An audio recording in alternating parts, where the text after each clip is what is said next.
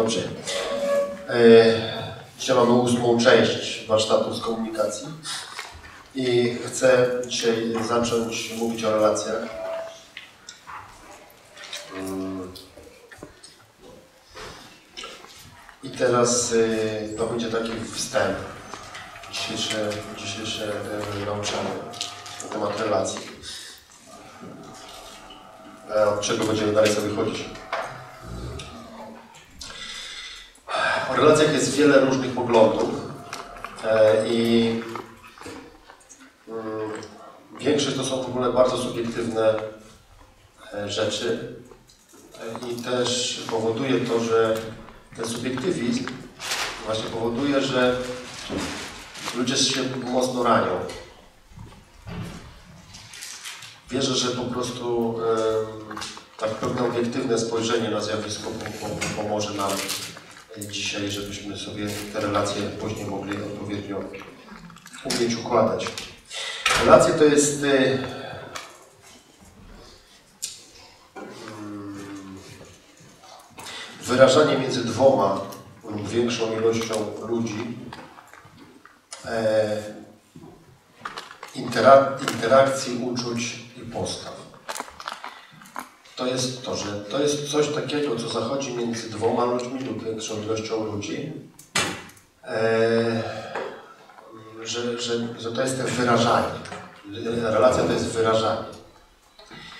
E, wyrażanie e, różnych e, rzeczy, które mamy w sobie. Czyli w relacji wyrażamy siebie wobec drugiego człowieka. Rozumiecie? I e, oczekujemy, że on się wyrazi wobec nas. W różny sposób. Słowami, czynami, emocjami, to już tutaj już nie, nie, nie istotne. Generalnie chodzi o wyrażenie, o stworzenie pewnej interakcji między dwoma lub większą ilością ludzi. Mm.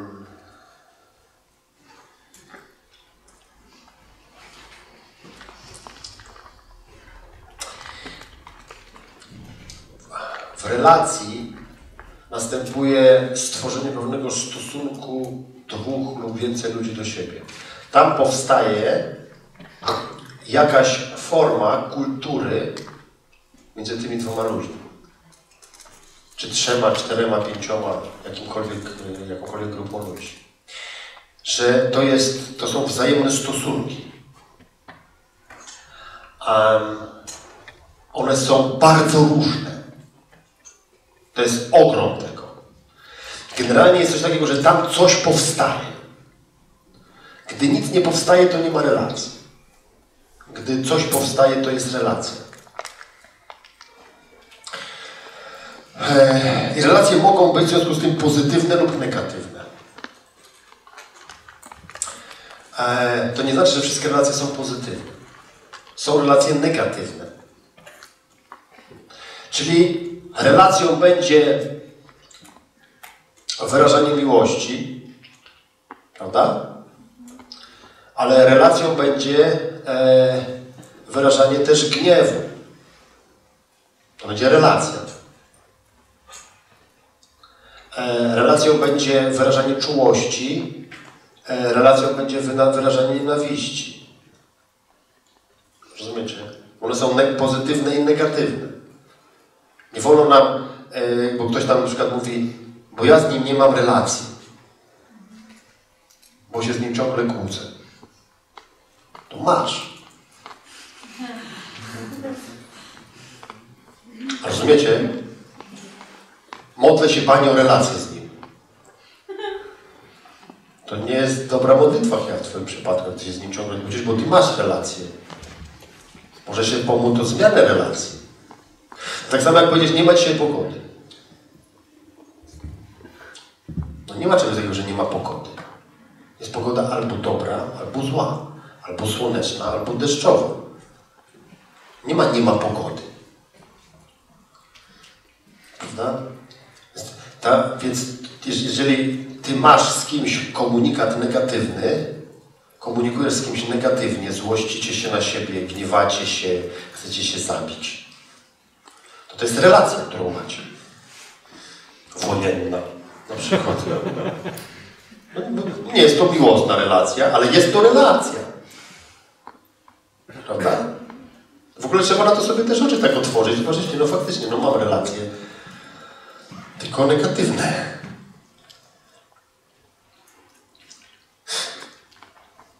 Gdy brak jest relacji, to mamy do czynienia z warownią izolacji.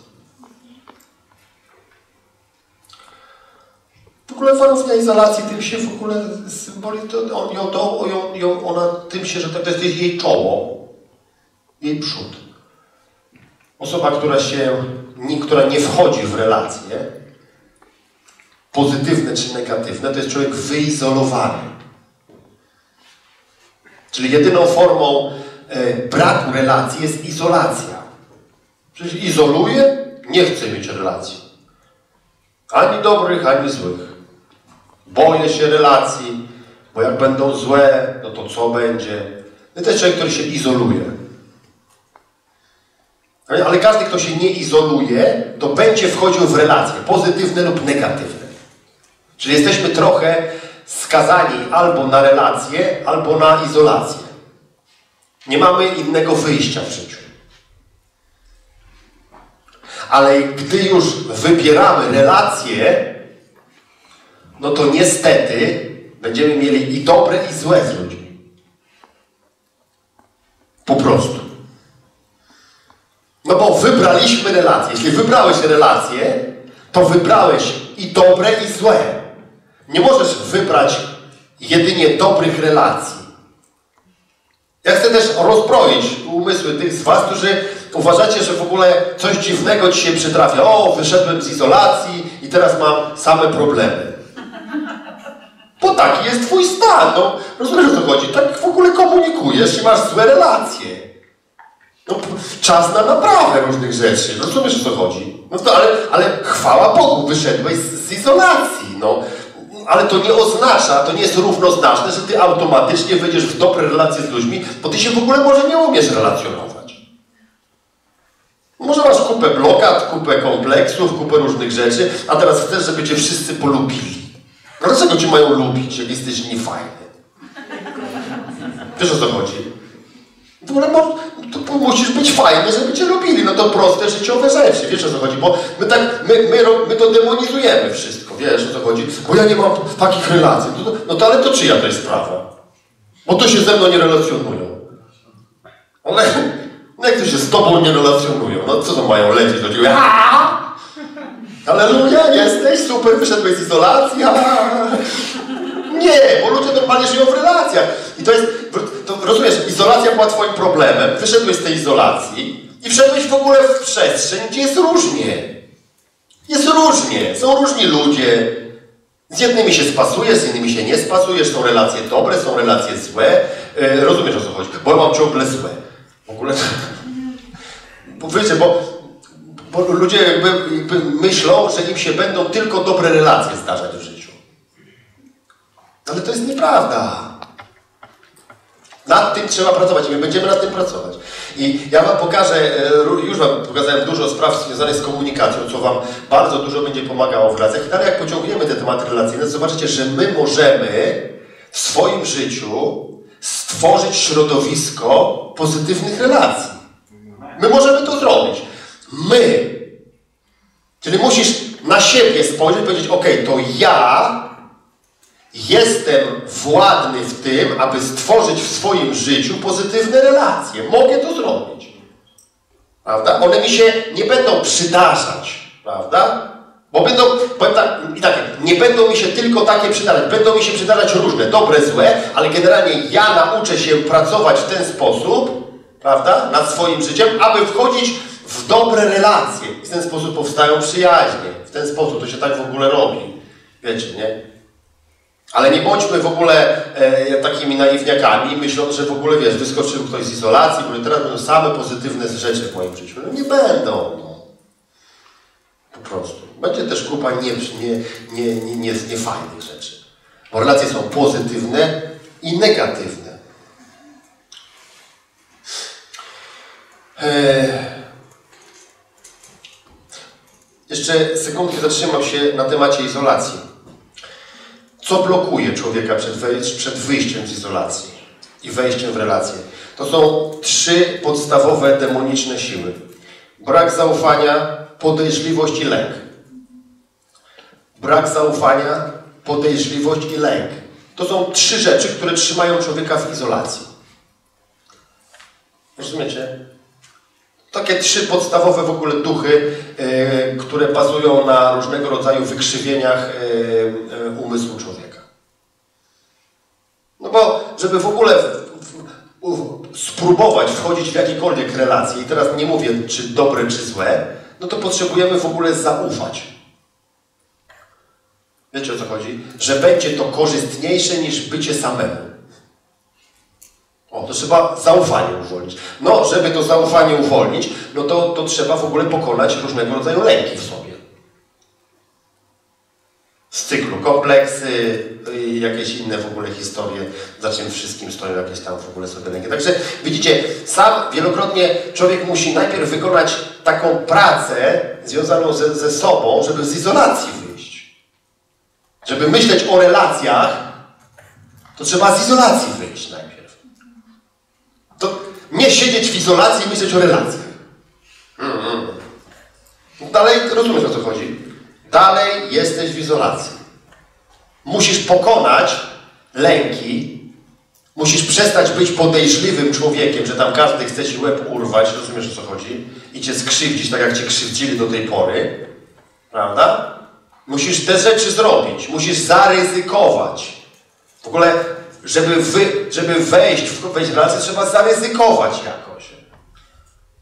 To, że cię, za, to, to, że cię zawsze tam e, źle traktowali, to nie znaczy, że teraz cię potraktują źle. A nawet jeśli cię potraktują źle, to to nie jest informacja, rozumiesz, globalna, że wszyscy są tacy sami.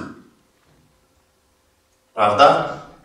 I najbezpieczniej jest się schować w swojej dżubelce, proszę Ciebie wystawić sobie oczko, Ciebie i patrzeć, jak peryskop ten krzywdzi, a ten może, a ten na ile mnie nie skrzywdzi. Wiesz o co chodzi? Namaszczenie ślimaka z jednym rogiem.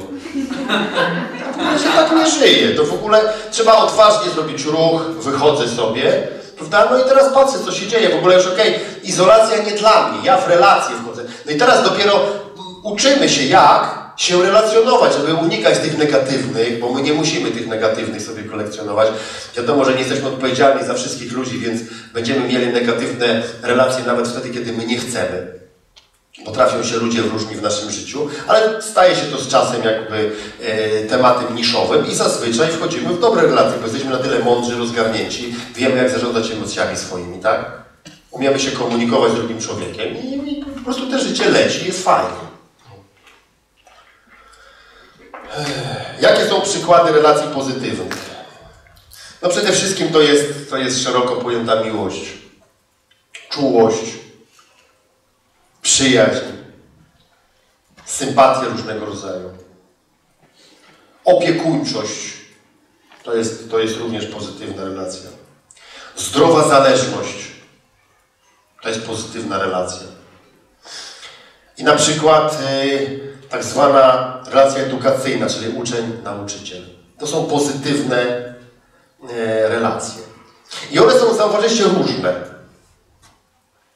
I na przykład nie można się domagać znowu tego, aby każda z relacji, którą nawiążemy, ta pozytywna, zawierała w sobie wszystkie te rzeczy, które ja tu powiedziałem. No bo Jedna z tych pozytywnych relacji to będzie to, że na przykład ty z kimś się przyjaźnisz. Masz taką relację przyjaźni. Jesteście we dwoje, czy tam we dwóch, czy we dwie na tym samym jakby poziomie e, funkcjonowania życiowego i jest wam ze sobą dobrze. Rozmawiacie ze sobą, spotykacie się, dzielicie się swoimi doświadczeniami. Jak w ogóle jesteście e, takie o przyjaciółki, przyjaciele. Robicie coś sobie razem. Fajna relacja. Ale jest inna relacja. Jest relacja opiekuńcza na przykład. Na przykład rodzic, dziecko. To jest relacja. Ty nie przyjaźnisz się z tym dzieckiem, tak jak się przyjaźnisz ze swoją przyjaciółką czy ze swoim przyjacielem.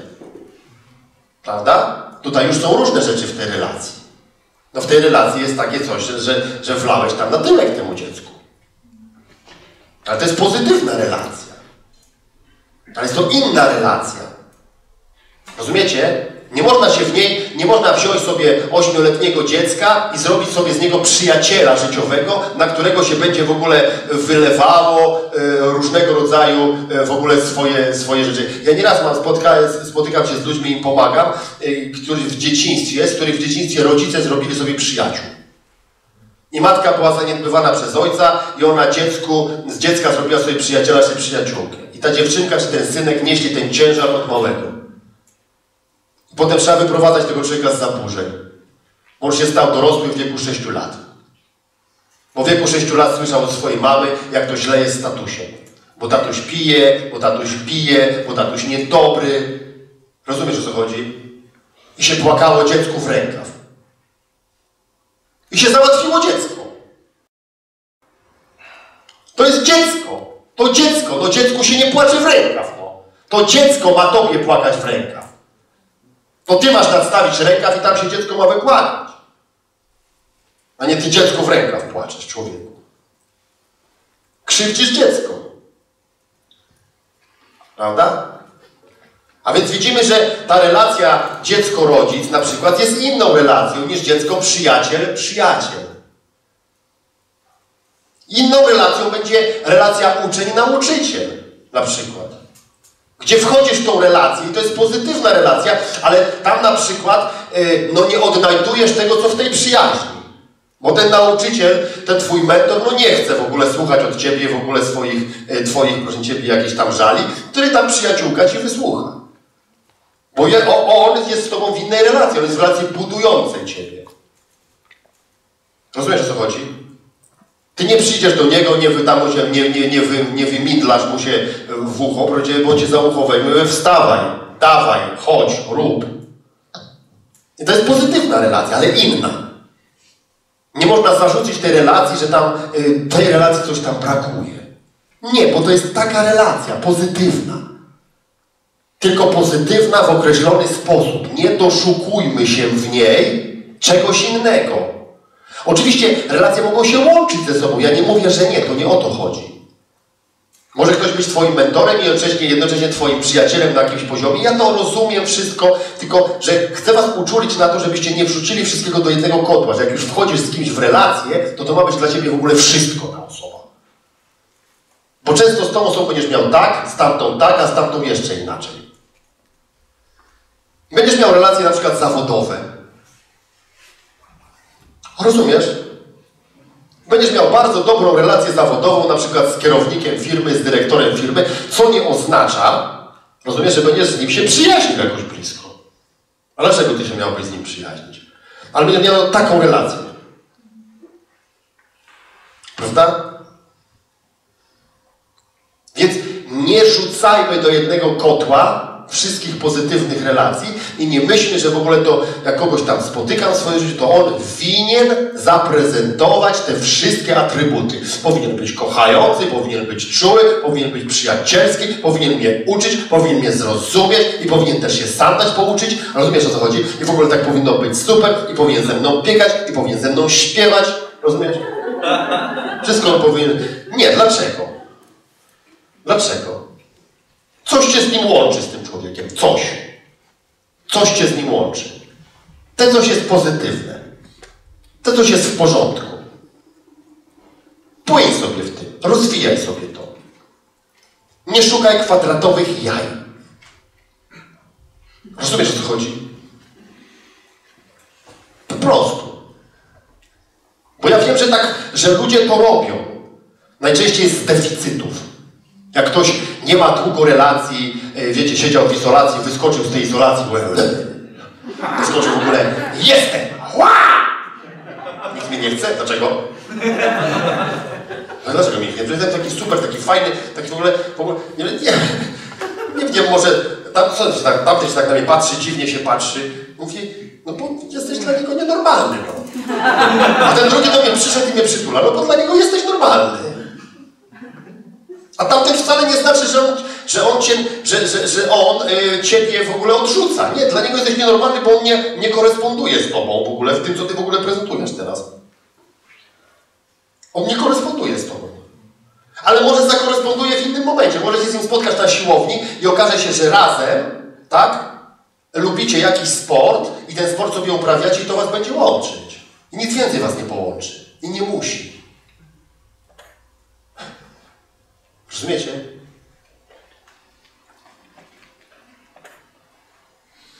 Dlatego jest taka fajna instytucja, co się nazywa małżeństwo. Taki pomysł. Jest takie rozwiązanie. Nie zawsze ono następuje, bo ono nie musi być zawsze. Ale w tym na przykład e, elemencie można połączyć najwięcej, najwięcej. Nie wszystko też, bo to jest też nieprawda, że wszystko się w tym małżeństwie połączy. Ale najwięcej pozytywnych relacji występuje w małżeństwie. Dlatego małżeństwo jest pożyteczne. Rozumiecie? Bo można tam złączyć kilka relacji. Ono jest, w nim najbardziej można e, po prostu e, mieć fajnie. O, tak to nazwę, nie? Co nie oznacza, że ono jest konieczne do tego, aby być szczęśliwym człowiekiem, bo to jest nieprawda. To od razu też odrzucamy w ogóle takie myślenie, wiecie. Nie uświęcamy takich rzeczy. Rozumiecie? My nie jesteśmy ruchem sakramentalnym. To nie ma takich uświęceń w ogóle.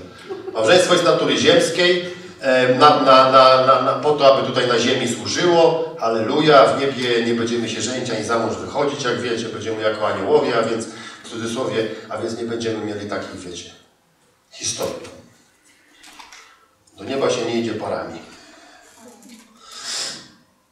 Jakie są negatywne relacje? Agresja, wrogość, obojętność, ta ludzka nienawiść, której w ogóle nie mylcie w ogóle ze zdrową nienawiścią Boga, o której mówiłem dzisiaj. Konflikt wszelkiego rodzaju, dystans, który mamy, przemoc,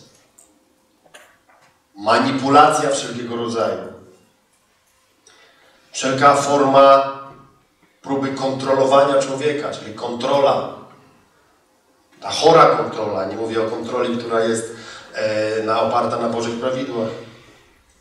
Lekceważenie, czy też wykorzystywanie drugiego człowieka. Widać masę różnych negatywnych e, relacji. I wielu z Was było w negatywnych relacjach. Prze, przebiegły przez Wasze życie negatywne relacje. Wiecie, do czego negatywne relacje doprowadzają ale one po prostu są. Jedne z nich e, się po prostu przydarzają, in, w inne najczęściej, to te najczęściej wchodzimy sami. Rozumiecie? Sami wchodzimy. Bo to najczęściej wchodzimy w, nie, w sami też z deficytów. Też wchodzimy z deficytów. Bo mamy wrażenie, że może to się zmieni. Rozumiecie?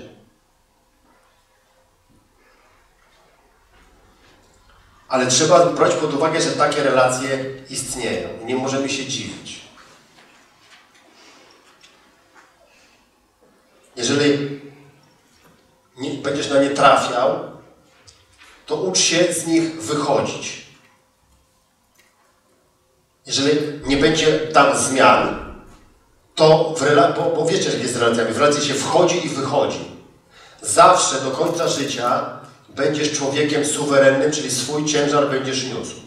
Nie będzie ci niósł go drugi człowiek. Rozumiesz? Drugi człowiek nie będzie niósł ci tego ciężaru. Ten ciężar będziesz niósł ty. A więc nie możesz zrobić czegoś takiego, że wejdziesz w negatywną relację. Rozumiesz?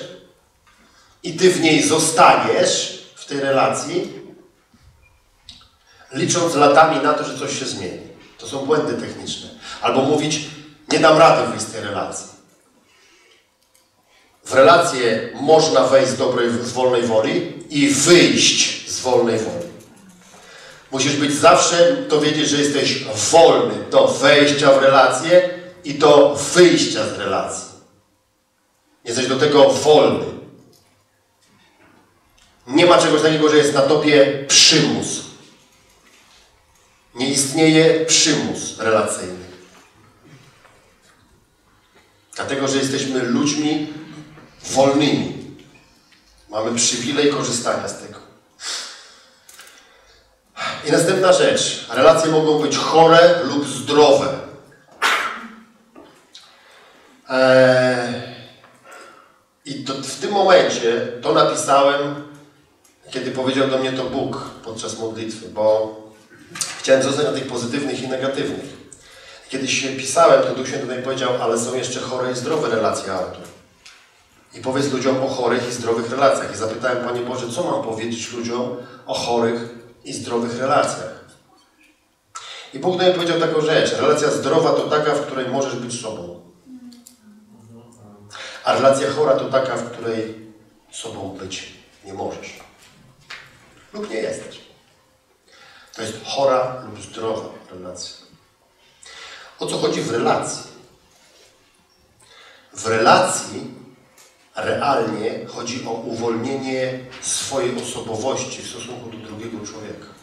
Jeśli nie możesz być sobą, to to jest chora relacja. Jeśli musisz udawać, jeśli musisz w ogóle, żeby utrzymać relację, być jakiś, to jest chora relacja. Jeżeli musisz grać, tworzyć system alter ego, aby utrzymać tą relację, to to jest chora relacja i ona będzie wywierała chory wpływ na Twoje życie. W relacji musisz być sobą. Rozumiesz? To jest bardzo ważne dla nas. I to jest nieważne, czy tutaj mówimy o negatywnych, czy pozytywnych relacjach. Można wejść w negatywną relację. Daję Wam przykład. Na przykład w relację zależności chorej od drugiego człowieka. Tak? I stworzyć sobie taki system funkcjonowania, żeby jak najdłużej w niej być. A więc nie dosyć, że jesteśmy w negatywnej relacji, to jeszcze udajemy kogoś innego niż jesteśmy. Rozumiesz? Czyli cierpimy podwójnie. W ogóle podwójnie cierpimy. Podwójnie cierpimy. Wchodzimy, ale zróbmy inaczej, wejdźmy w pozytywną relację. Wchodzimy w pozytywną relację, w relację przyjaźni na przykład, ale na zasadach takich, że z deficytów uznajemy, że będziemy jacyś wobec tej osoby, aby nas nie odrzuciła. I jacyś jesteśmy. Gramy. Gramy. Rozumiesz? Gramy. Ta osoba kiepsko gotuje na przykład. Robi takie rzeczy, że jak jest, to ci się chce żygać. Ale ona jest pasjonatem gotowania. I uważa, że ma wszystkie kurcze, rozumiesz, przepisy w swojej głowie, w swoim ręku.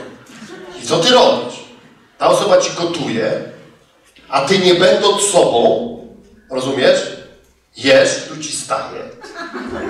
No jak ci smakowało? Rewelacyjnie. Znaczy daję takie przykłady w ogóle, wiesz? Czemu? Bo nie chcę, ja nie chcę stracić, nie chcę stracić tej relacji. No to chcesz, żeby zawsze ta osoba karmiła ludzi tak, żeby będą mieli wrzody na żołądku? Co chcesz, więcej powodów do uzdrowienia? Rozumiecie, o czym mówię? Szkodzisz sobie, tej osobie, wszystkim. Nie jesteś sobą.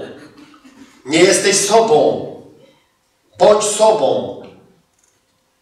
Ludzie są w relacjach na przykład małżeńskich, e, Y, wchodzą w różnego rodzaju y, y, relacje seksualne. I czasami ktoś pyta, co w małżeństwie, jakby ze mną rozmawiają, co, co, co nam wolno w seksie. Ja mówię, wszystko, na co się obydwoje zgodzicie. To jest wasza prywatna sprawa. Ja nie wiem, dla mnie to, to, to, co wy chcecie, to róbcie. Co mnie to obchodzi, co wy robicie? Mogę w ucho se wkładać. To jest twoja prywatna rzecz, co robisz z twoją żoną czy z mężem. W ogóle to nikogo nie powinno obchodzić. Rozumiesz, o co chodzi? Chcecie, to się przybierajcie za pielęgniarzy, kominiarzy, spadek zakładajcie jakimś wibratorem, co tam lubicie, to jest wasza prywatna sprawa. Rozumiesz, o co chodzi? Ale jest ważna sprawa w czym? Musicie się obydwoje na to zgodzić. Jeśli jedno się nie zgadza, a drugie lata z tym wibratorem, to będzie dym. Bo jest, rozumiesz, o co chodzi? Bo ta osoba będzie robiła coś na siłę będzie, nie będzie sobą w tej relacji. I to będzie jaka relacja? Chora. to wcześniej czy później musi pęknąć. I tak jest w każdej dziedzinie życia.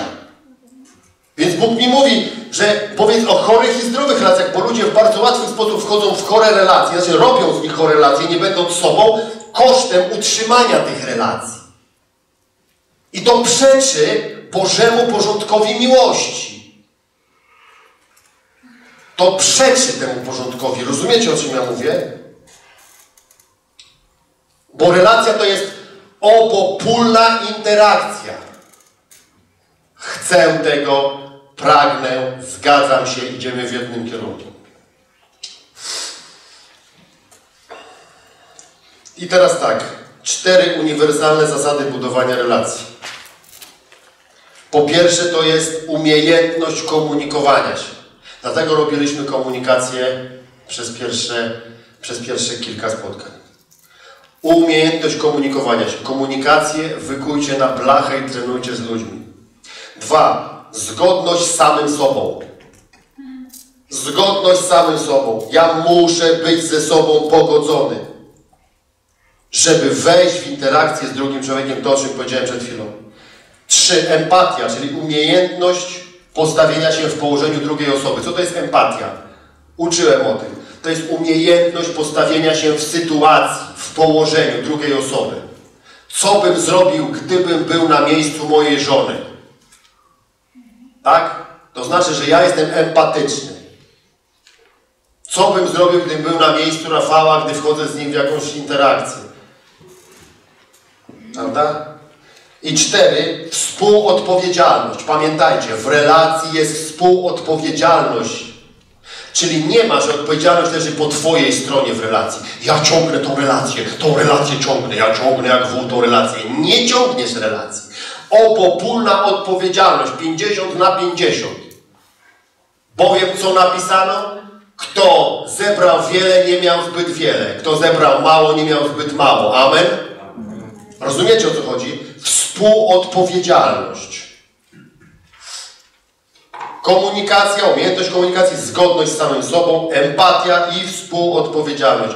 To są cztery uniwersalne zasady budowania relacji. Na tym zbudujecie każdą dobrą relację. Jeżeli te rzeczy będą funkcjonowały. I teraz trzy cechy zachęcające do wchodzenia w relacje.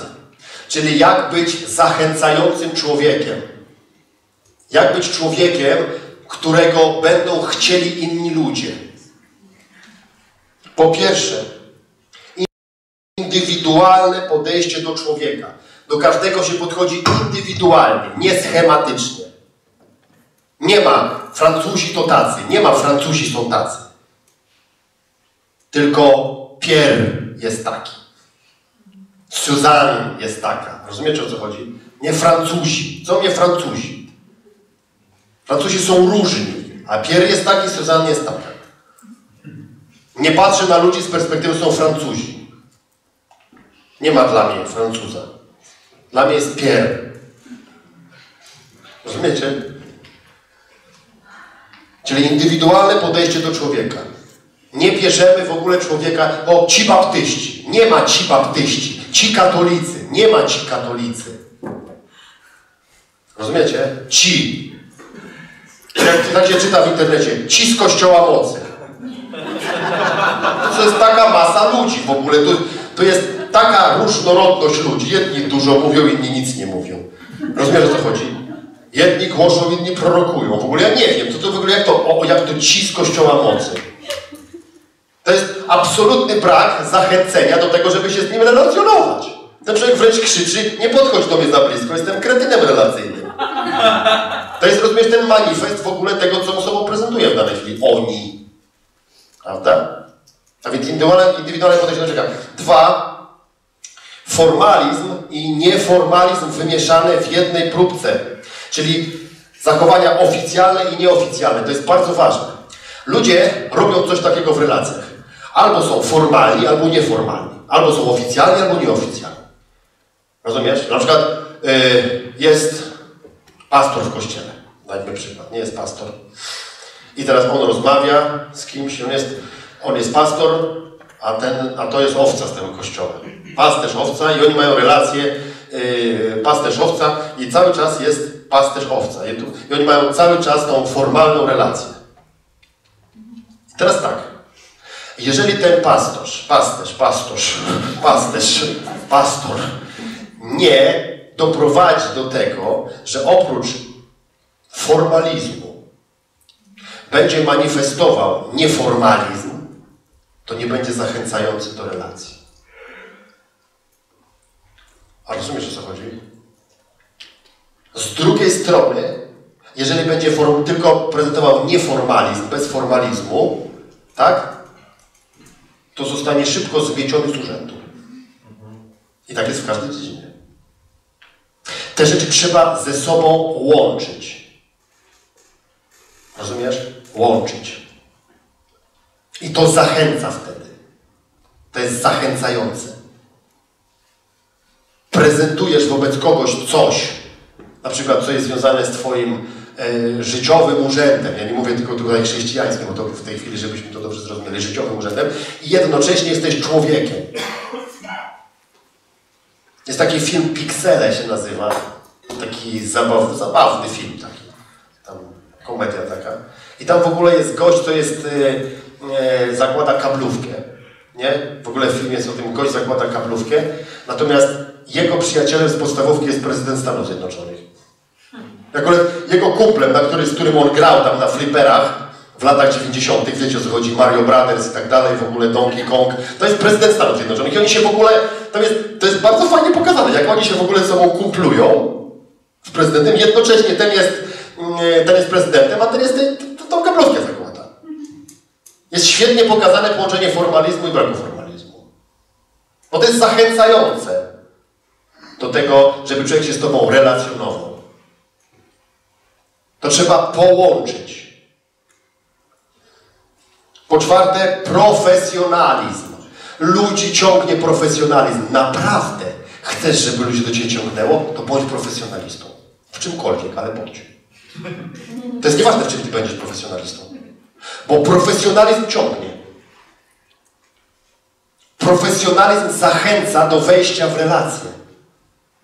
Jakikolwiek profesjonalizm. Życiowy, zawodowy, jakikolwiek, to jest nieważne. Ważne, że to się manifestuje przez Ciebie. Rozumiesz, o co chodzi?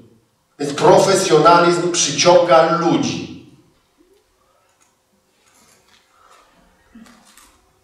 Po chrześcijańsku powiem namaszczenie. Żeby to zrozumieć jeszcze na ten, w ten sposób. Rozumiesz? Namaszczenie. Bo namaszczony to jest profesjonalny. Rozumiecie to? Co to jest namaszczenie?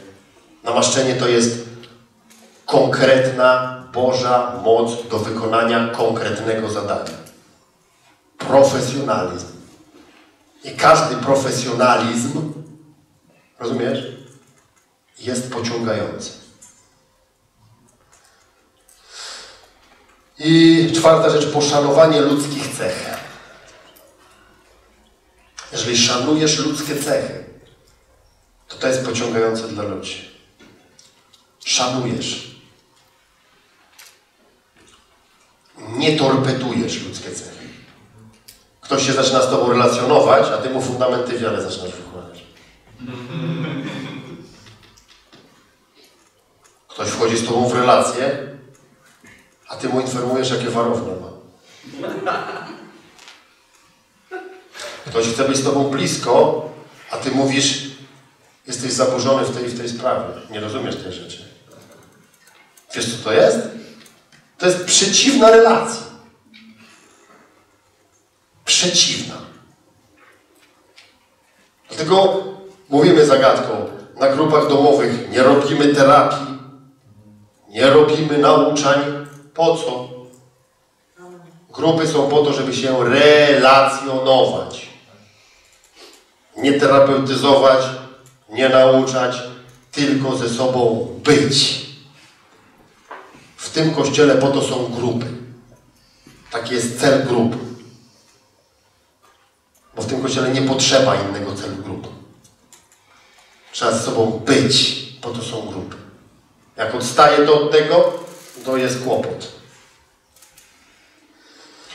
A więc indywidualne podejście do człowieka, formalizm, nieformalizm w jednej pigułce, profesjonalizm i poszanowanie ludzkich cech. I ostatnia rzecz. Trzy cechy, które zniechęcają zdecydowanie do relacji. Takie pierwsze blokery relacyjne. Po pierwsze, to jest nieumiejętność słuchania. Nieumiejętność słuchania. W ogóle rozumiecie, że większość ludzi chce być wysłuchanych? Panowie, coś wam powiem. Teraz do panów mówię. Kobiety przede wszystkim chcą być wysłuchane. Nie chcą otrzymać rozwiązania od was.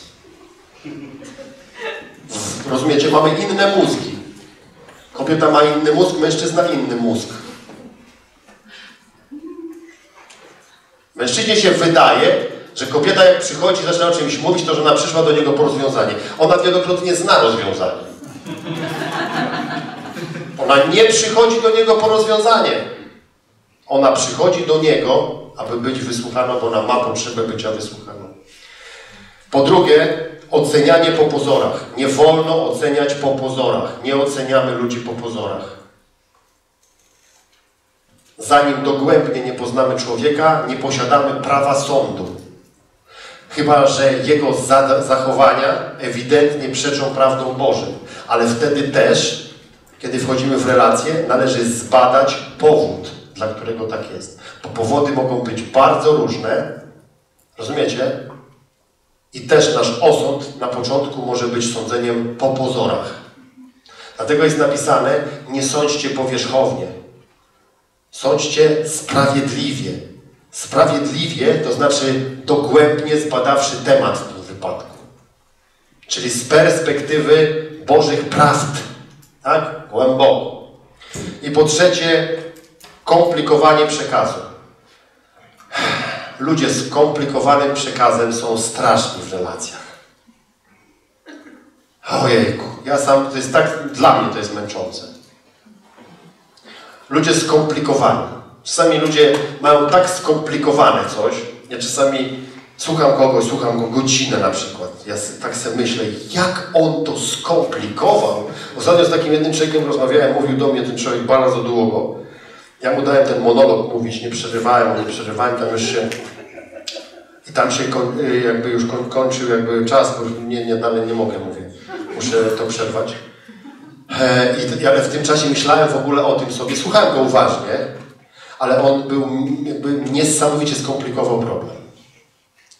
Niesamowicie to skomplikował. Patrzę, ile to trzeba siły w to włożyć, ile, ile mocy, ile energii, żeby tak skomplikować zjawisko.